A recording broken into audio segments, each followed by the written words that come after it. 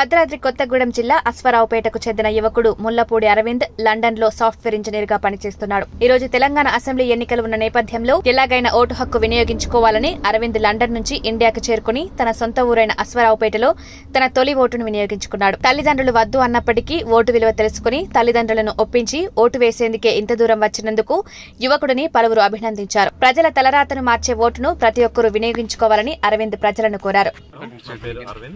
నేను యూకేలో ఉంటాను జాబ్ గురించి. బట్ uh, ఇప్పుడు ఫస్ట్ నాది ఫస్ట్ ఓట్ సో ఎలక్షన్ కోసం అని చెప్పి అక్కడి నుంచి వచ్చాను ఓట్ వేయడానికి సో uh, ఇప్పుడే అయింది నేను ఓట్ వేసాను. అండ్ ఓట్ uh, అనేది అందరి రైట్ సో అది మనం మన ఎవరు పరిపాలించాలని మనం డిపెండ్ చేసుకుంటాం కాబట్టి అందరూ ఖచ్చితంగా వాడుకోండి.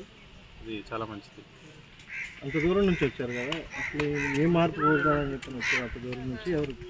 అంటే ఇప్పుడు మన ఓటు చూసుకుంటే ప్రతి ఐదు సంవత్సరాలకి మన గవర్నమెంట్ ఎలా ఉండాలి ఏది మనకు కావాలంటే మనం చూస్ చేసుకుంటే మనకి ఐదు సంవత్సరాలకు ఒకసారి వచ్చే ఛాన్స్ కాబట్టి అండ్ మన ఫ్యూచర్ కూడా డిఫైన్ అవుతుంది కాబట్టి సో కోర్స్ మంచి ఫ్యూచర్ కోసం అని చెప్పి మంచి పర్సన్ సెలెక్ట్ చేసుకుందామని వచ్చాను. ఎవరైనా అంతే.